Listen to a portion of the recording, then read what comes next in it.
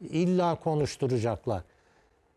Buna e, Avusturya'da Steiermark bölgesi var. İşte Burgenland var. Efendime söyleyeyim Tirol var böyle. E, Salzburg var.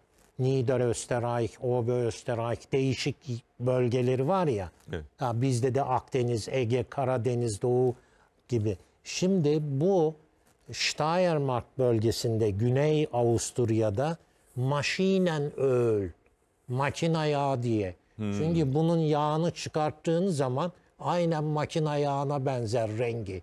Salatalarda müthiş şeydir. Ve prostatta da işte o kabak çekirdeği çok faydalıdır. Onun için Avustur, Avusturyalıların, e, Avusturyalı erkeklerde benign prostat hiperplazisi veya hipertrofisi, iyi huylu prostat büyümesi çok az görülür. Bunun e, özellikle Steiermark bölgesinde sebebi de budur işte.